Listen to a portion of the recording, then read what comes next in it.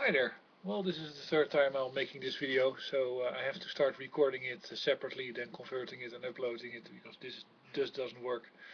I'm playing around with some electronics. I have this device, I bought it, it's a DC-DC converted. I think it's a very useful thing. It's very cheap, it's about $2 or $3 on eBay.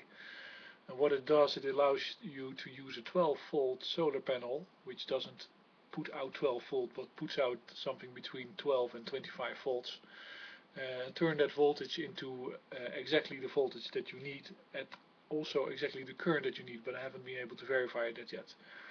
That's very useful because your devices are not uh, accepting uh, 15 volt one minute and 9 volt the other minute has to be exactly what it's uh, supposed to be and solar panels simply don't produce that. Usually when you have them combined with an inverter then you get 220 or 110 or something like that AC and you can use that but this is much cheaper. It's like this is a few dollars instead of like $500 for an inverter.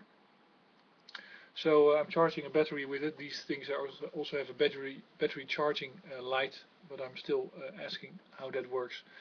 And it means that I can have a solar panel, have a 5 volt output for my electronics, have a 12 volt output directly from the solar panel or 25 volt, whatever, for a motor, and I can build some more uh, interesting devices with it that I'm working on right now. I also have to reconstitute the, the, the, the heliostat that I was building last year uh, and show you about the magnetic, magnetic rotary encoders. I want to uh, I will keep this video short because let's say the transmission breaks off. It doesn't ever happen, but only with YouTube. Uh, I wrote an article a while back called Hypertransparency and I think hypertransparency is the way to go.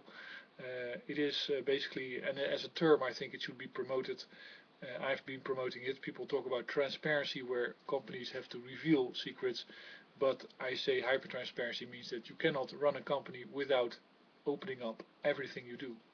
There's really no secrecy necessary in business. You don't need secrets to run a business. Uh, even a casino can run its business without keeping uh, secrets.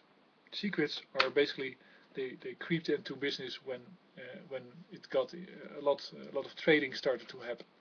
And what secrets do is they uh, they mask human rights abuses, they mask pollution, they mask uh, let's say and limit li the, the limit to what we have. So oil companies are non-transparent about the reserves.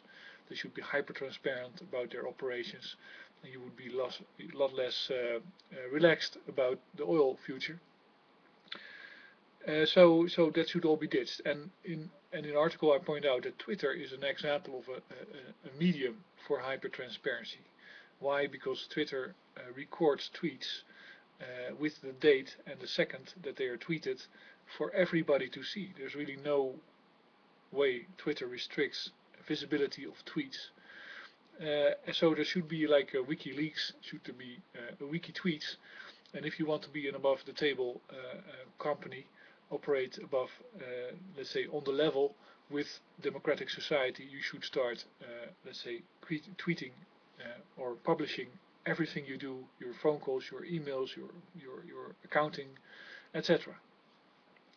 Anyway, uh, I'll link to the video or to the article because otherwise this video might break off and not uh, upload and I'll try to find another way to make videos. Thanks for listening.